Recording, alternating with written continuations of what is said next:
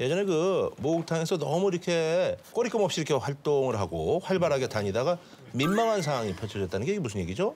그 스무 살 정도 때 그러니까 언니들이랑 같이 목욕탕을 자주 갔거든요.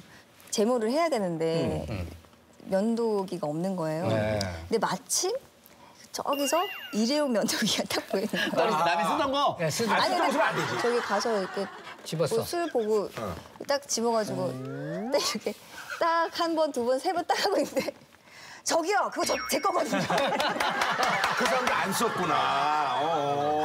너무 기분 나빠하시면서 한 5분 동안 저한테 계속 뭐라고 하시는 거예요 거기서 나 이렇게 하고 있는데 그래서 네. 어머 너무 죄송해요 제가 다 안 쓰시는 건줄 알고 죄송합니다 이러고 막 뛰쳐나와가지고 한쪽만 아니 그럼 얘기해 주세요. 이거 없으니까 여기 좀 할게요. 이렇게 얘기하지.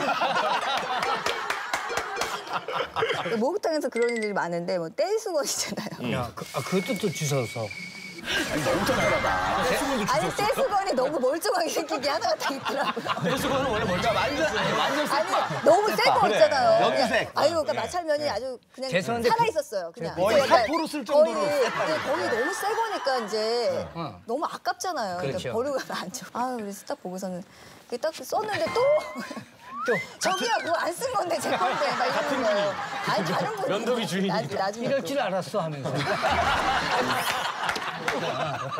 뭐 그것뿐만 아니라 막 의자 같은 거 네. 이게 대중목욕탕 가면은 요만한 의자? 의자가 되게 먹을 별로 없거든요 먹을 거 없는 게 바로 그런 목욕탕은. 아니 대중목욕탕이 남의 것을 그렇게? 옛날에는 진짜 집에서 씻어요. 뭘 거기 나 지금은 씻고 있어 아, 집에 가 씻으면 되지.